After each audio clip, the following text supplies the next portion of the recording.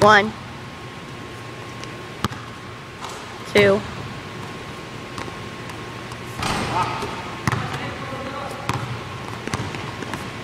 Three.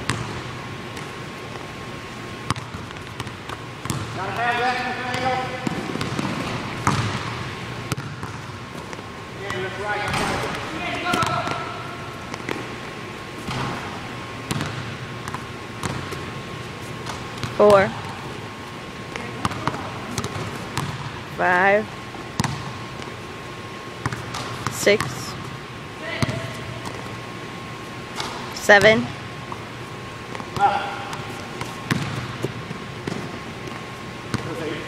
Eight.